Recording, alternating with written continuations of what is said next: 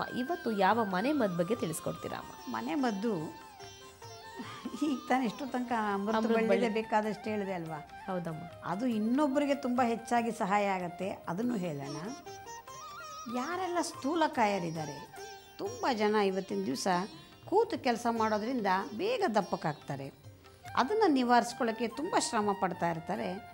ಸುಲಭವಾಗಿ ಸರಳವಾಗಿ ಅದನ್ನು ಪರಿಹರಿಸ್ಕೊಳ್ಳೋದಕ್ಕೆ ಒಂದು ಸಣ್ಣ ಉಪಾಯ ಹೇಳ್ತೀನಿ. ಅದನ್ನು ಮಾಡ್ಕೊಳ್ಳಿ. ಇಷ್ಟೋ ತನಕ ಅಮೃತ ಬಳ್ಳಿ ಹೇಳಿದೆ, ಅದೇ ಅಮೃತ ಬಳ್ಳಿಯನ್ನೇ ಉಪಯೋಗ ಮಾಡೋಣ. ಅಮೃತ ಬಳ್ಳಿಯ ಒಂದು ಸಣ್ಣ ತುಂಡನ್ನು ತೆಗೆದುಕೊಳ್ಳಿ. ಅದರ ಜೊತೆಗೆ ತ್ರಿಫಲ ಚೂರ್ಣ, ಇದು ನಿಮಗೆ ಎಲ್ಲ ಕಡೆ ಸಿಕ್ಕುವಂಥದ್ದು. ಅದನ್ನು ತಂದುಕೊಳ್ಳಿ. ಇದು ಎರಡನ್ನೂ ಕೂಡ ಒಲೆಯ ಮೇಲಿಟ್ಟು ಒಂದು ಲೋಟ ನೀರಿಗೆ ಹಾಕಿ ಚೆನ್ನಾಗಿ ಕುದಿಸಿ ಕಷಾಯವನ್ನು ಮಾಡಿಕೊಳ್ಳಿ. ತ್ರಿಫಲ ಚೂರ್ಣ ಮತ್ತು ಅಮೃತ ಬಳ್ಳಿ ಎರಡರ ಒಂದು ಕಷಾಯವನ್ನು ಮಾಡಿಕೊಂಡು ಶೋಧಿಸಿಕೊಳ್ಳಿ.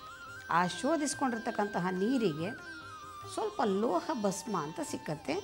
ನಮಗೆ ಈ ಆಯುರ್ವೇದದ ಯಾವುದೇ ರೀತಿಯ ಔಷಧಿ ಅಂಗಡಿಗಳಲ್ಲಿ ಸಿಕ್ಕುವಂಥದ್ದು.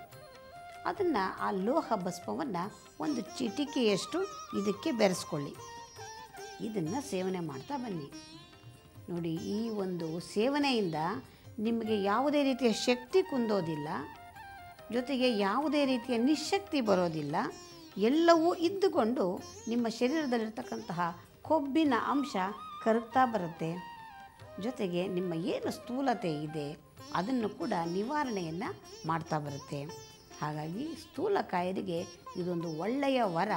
ಈ ಅಮೃತ ಬಳ್ಳಿಯ ಜೊತೆಯಲ್ಲಿ ನಾನು ಹೇಳಿದ ರೀತಿಯಲ್ಲಿ ಒಂದು ಚಿಕಿತ್ಸೆಯನ್ನು ಮನೆಯಲ್ಲೇ ಮಾಡಿಕೊಳ್ಳಿ. ಆದರೆ ಒಂದೆರಡು ದಿವಸ ಮಾಡಿಬಿಟ್ಟು ನಮಗೇನೂ ಆಗಲಿಲ್ಲ ಅನ್ಬೇಡಿ. ಸತತವಾಗಿ ನಲವತ್ತೆಂಟು ದಿವಸ ಮಾಡಿ ಶುರು ಮಾಡುವಾಗ ನೀವು ತೂಕವನ್ನು ಪರೀಕ್ಷೆ ಮಾಡಿಕೊಳ್ಳಿ. ನಲವತ್ತೆಂಟು ದಿವಸದ ನಂತರ ತೂಕವನ್ನು ಪರೀಕ್ಷೆ ಮಾಡಿಕೊಳ್ಳಿ. ನಂತರ ನಿಮಗೆ ಏನು ವ್ಯತ್ಯಾಸ ಆಯಿತು ಅನ್ನೋದನ್ನು ನಮಗೆ ಕರೆ ಮಾಡಿ ತಿಳಿಸಿ. ಡಾಕ್ಟರ್ ಗೌರಿಯಮ್ಮ ಚಾನಲ್ಗೆ ಸಬ್ಸ್ಕ್ರೈಬ್ ಆಗಿ ಪಕ್ಕದಲ್ಲಿರೋ ಬೆಲ್ ಐಕಾನ್ ಅನ್ನು ಪ್ರೆಸ್ ಮಾಡಿ. ನಿಮಗೆ ನೋಟಿಫಿಕೇಶನ್ ಬರುತ್ತೆ.